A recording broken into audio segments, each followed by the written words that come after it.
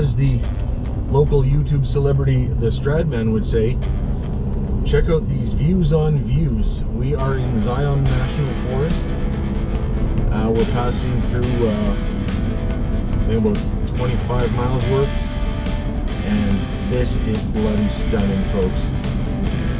If you have never been, as I have never been before today, you need to come. You, you, yeah, you need to. Wow. And we only just passed through the park gate like a minute ago, and I'm already just aghast. Or no, flabbergasted. Damn, I don't even have the word right now. So, I'm gonna keep some, uh, keep the video rolling and let you enjoy some of this. And uh, oh, in front of me, uh, you can see, uh, I, I, imagine you can see the uh, little ninja of the car photographer Ted Seven, and uh, the other car Revero, uh, being driven by uh. Don't know his last name. He's Dutch. Uh, he's a senior VP of marketing for Karma, and that looks like Nara hanging out the window getting footage of, uh, of this car. Um, I'm going to leave Nara's Instagram below. He's a hell of a photographer and videographer. Definitely worth checking out. And yeah, it's a 35 mile an hour speed limit, and that bus is doing way less, so I guess we're going to be doing less.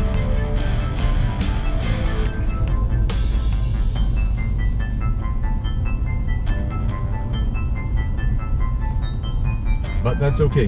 We uh, we were specifically told to really respect the uh, the speed limits through here, and I can see why. This is wow. I feel like I should do a video just on the park, except I know nothing about it. Anyway, I'm gonna quit yakking for now and let you guys enjoy the scenery.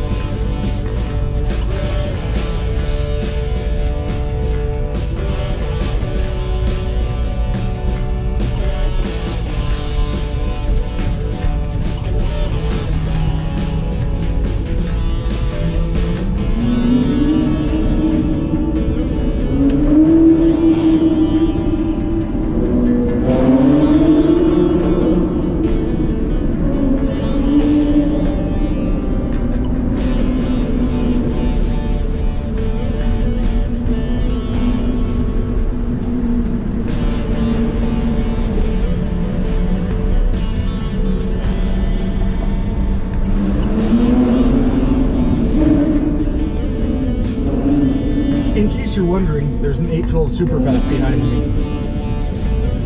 What a glorious noise that thing's making. The low speed limit through the park must be driving him nuts.